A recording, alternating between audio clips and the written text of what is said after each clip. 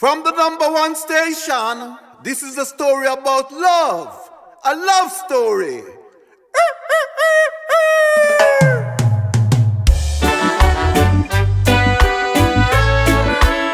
Music is love, and love is music. We're in Jamaica.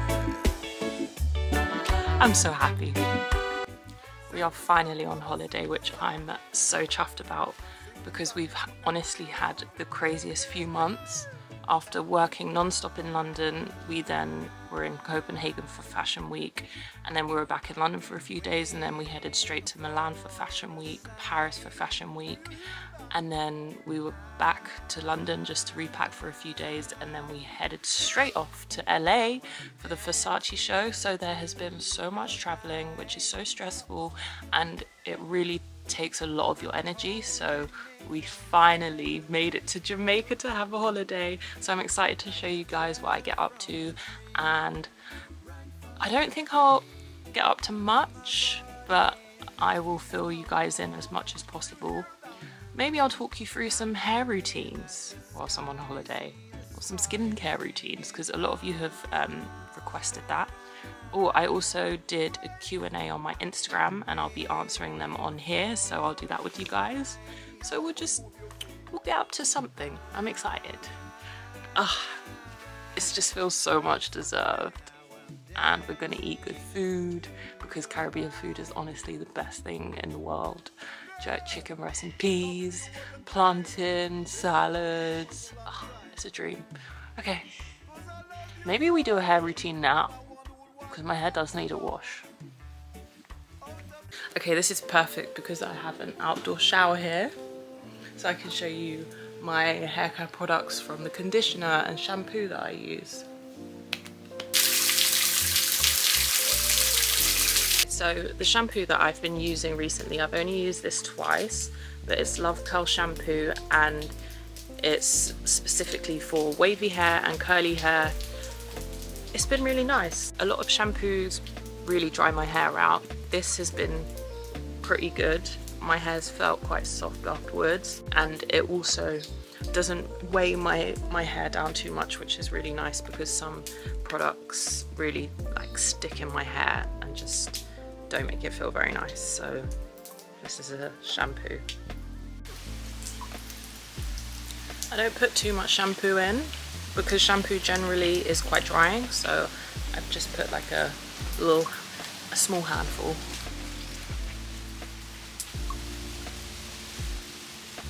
And crunching the hair is key to maintain those lovely tight curls. That was fun. Okay now I'm gonna wash out the shampoo and then I will show you which conditioner I will use next. Okay, now I've washed out the shampoo, I'm going to use the Love Curl conditioner from the same brand and it's in a tub, which I quite like because you can just get like a whole like spoonful. So I'm going to use like this much. I've got quite a lot of hair so maybe I'm going to use a little bit more. Conditioner for me is key to my hair feeling soft and nourished. Imagine washing your face and then not using a moisturizer afterwards. It's the same with your hair. You'll wash your hair with shampoo and then you're not using your moisturizer afterwards. So conditioner acts as a moisturizer. I'm going to leave the moisturizer in for about three to four minutes just to let it sink in. And I have this awful hairbrush. Um, I forgot to bring my hairbrush from London and I had to take this from the hotel and it's really really bad. So I do not recommend finding a hairbrush like this.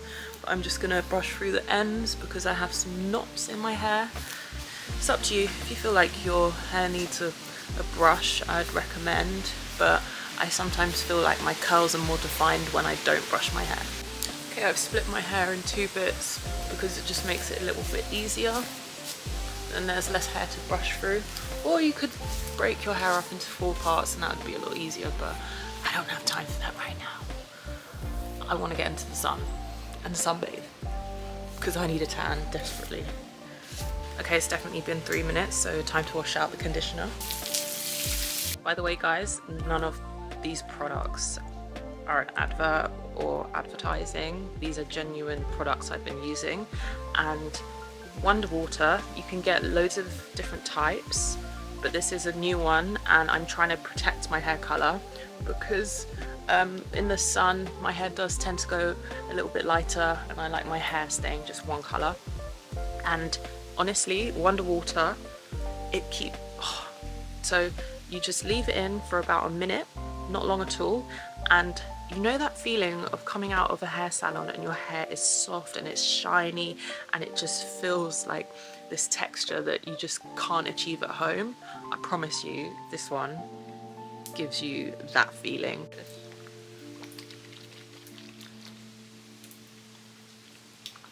Now I'm gonna use it all over. I can already feel how silky my hair feels it's important to wash your face after washing your hair because the shampoo and conditioner can get on your face sometimes so you don't want to get that in your your skin. So Bash, what's your um, hair care routine?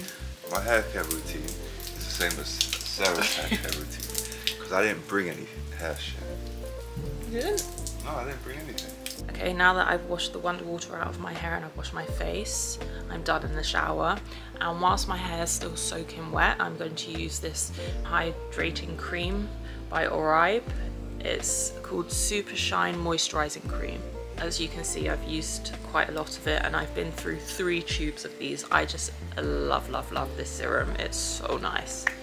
No, not it's not really a serum, it's more cream. And I'm gonna use that much. I'm gonna use it whilst my hair's wet because the wet hair locks in the creams way better than if it was dry or damp.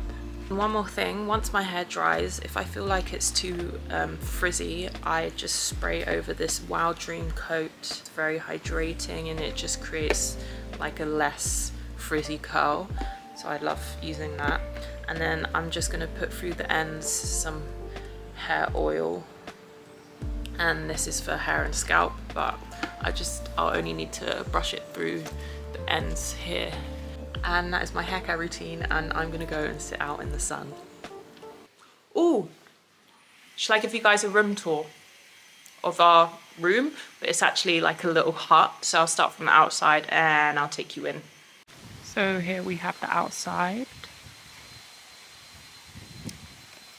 And this is a really cute little dining area where we can hang out at night. Benches. So as you walk in, we have the lovely bed. And then bedside tables. I think this wicker seat and the little side table is so cute. TV, which we haven't actually used yet. A little desk area.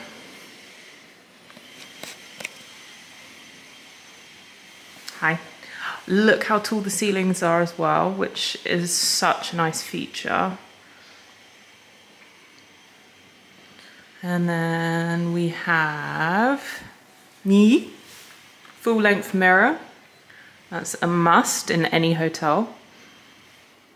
Um, the vanity area, double sink, how luxurious. And this has definitely inspired me to create a double sink once I buy a house in the very near future. Um, closet space, my awful, awful packing skills. I honestly don't know what I brought with me. Um, a bath. Isn't that such a dream bath? How beautiful. So there's just steps down. And then we have the outdoor shower. Honestly, an outdoor shower makes so much sense. It is so refreshing. At first when I saw I had an outdoor shower, I was a bit freaked out. But even if it's raining, it doesn't matter because you're wet from the shower. So, and you dry off.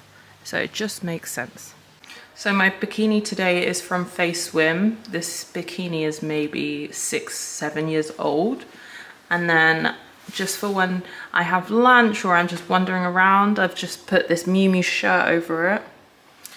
And that is my outfit for today. Now I'm just gonna put some bottoms on and then we're gonna have lunch. The food here is so authentic. It's my favorite jerk chicken, rice and peas. I've said it before in this vlog, I feel, but honestly, the obsession is real.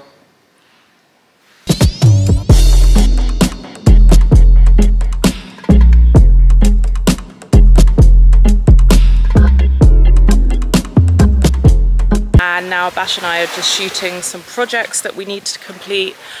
And what a dream that we're able to do it by the sea. Look how beautiful it is. Oh my goodness.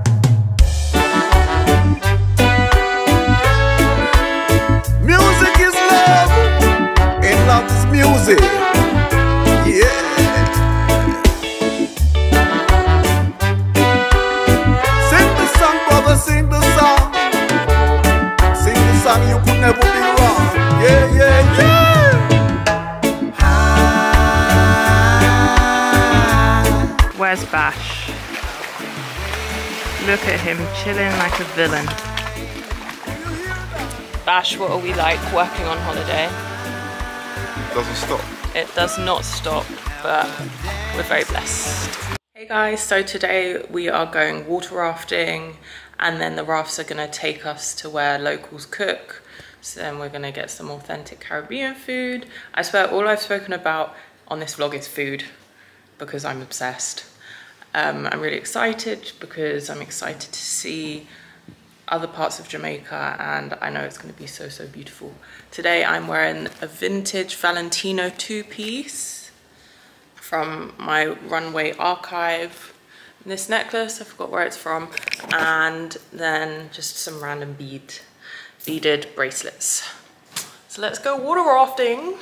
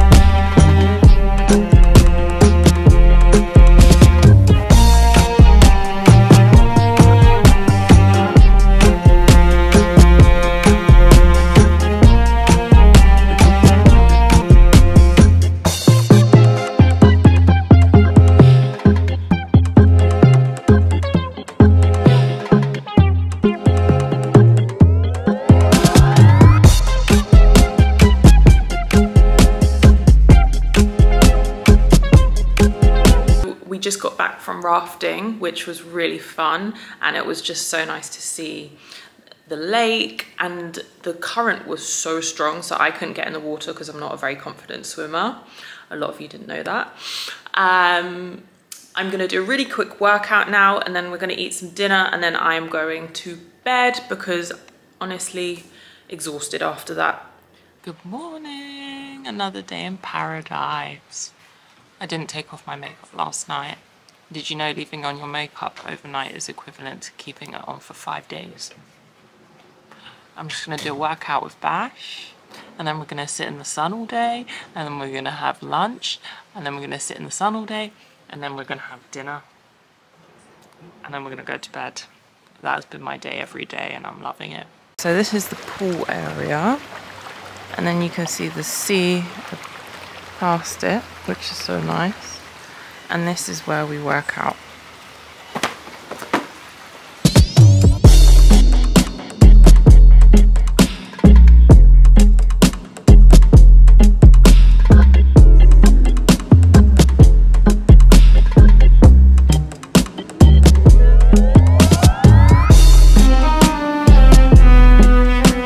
Now we are going to go and watch the sunset after a lovely long day tanning by the beach and I'm in a rush because I didn't realize what time it was and I don't want to miss the sunset so let's go real quick.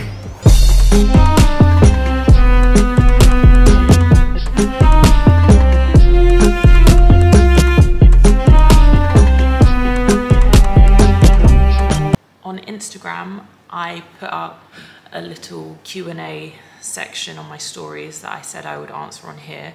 So I'm just gonna really quickly go through some questions that you guys had and I'm gonna answer as many as I can. Okay, so someone asked favorite shows.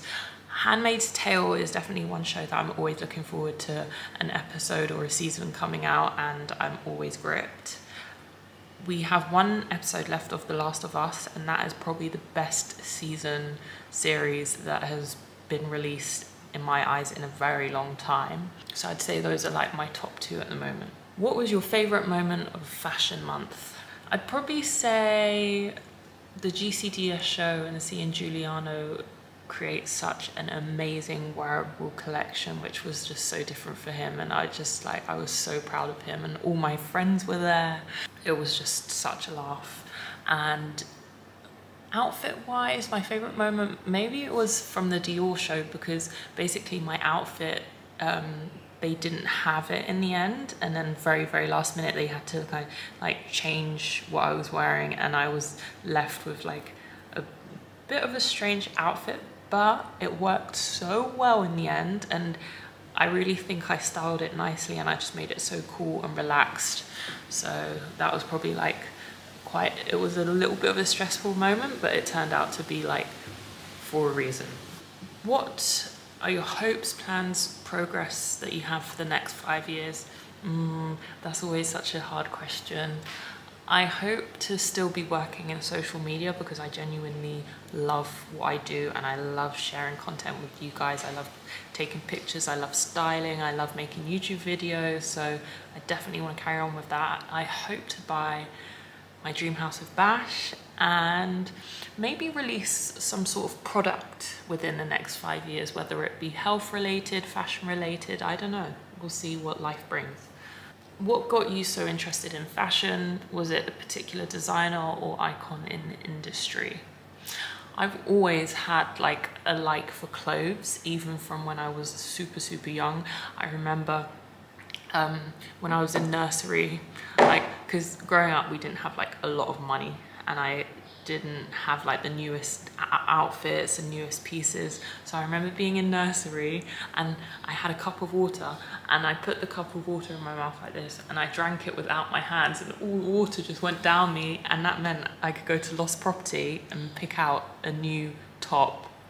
So that really excited me. So i think the desire for new nice different pieces always, stemmed from when i was so little um, I, I wouldn't say a particular designer or icon in industry but i am inspired by so many people so many designers like a little bit of everything because I wouldn't say I have like a particular style so I'm inspired by everyone and everything around me. Advice on working for yourself and breaking through fear. That is a really really tricky one and it's a very very brave move to make working for yourself but it is the most rewarding and the most exciting thing that you can do. If you have like a particular interest, honestly, just nurture that interest and I feel like you always know best. If you want to, let's say in fashion, if you want to work for yourself, start off by shadowing someone. Um, people always need help. So like just getting as much experience as you can, post it on social media and just get the word out there.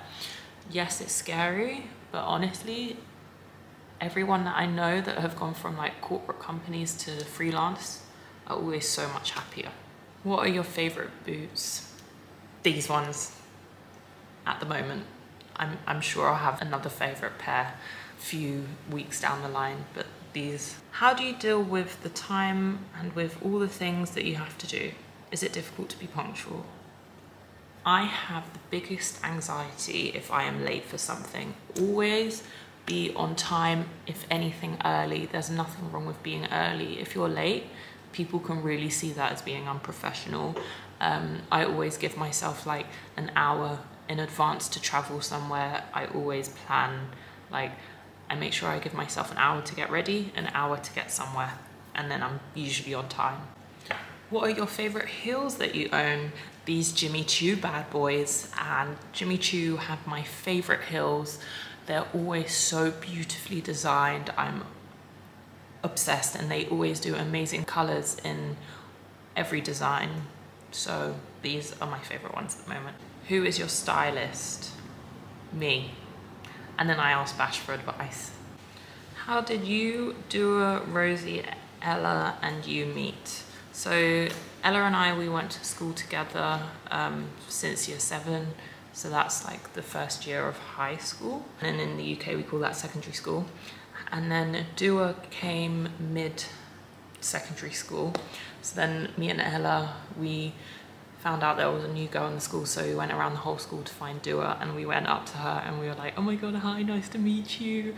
Let's be friends. So we stayed friends ever since. Then I met Rosie on a music video for Disclosure that we shot together and then I introduced her to all my friends and we all hung out and we all got along really well and we're still so close and we're all friends which is such a nice feeling. How did you and Bashir meet? We met the, at the club. In June it will be nine years since we've been together which is such a long time. Relationship advice. How did you meet your boyfriend and what did you learn from this relationship? So I just told you how I met him I have learned to always trust. Trust is probably the most important aspect in a relationship because what is the point of being in a relationship if you're just constantly paranoid about that person, what they're doing, where they are? You have to let your partner be free, be with his friends, go on holiday without you. You have to have trust. That is key. So I really enjoyed answering those questions. If you guys have any more questions, please, please send them through. I love answering a question. Really hope you guys enjoyed this vlog and I will see you for the next vlog in Mumbai.